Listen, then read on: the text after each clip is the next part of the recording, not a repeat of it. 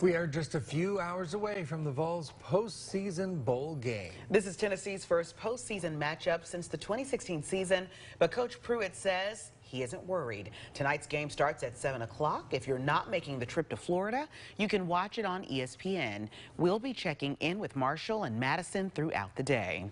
And for all of the behind-the-scenes fun and excitement, follow them on Twitter.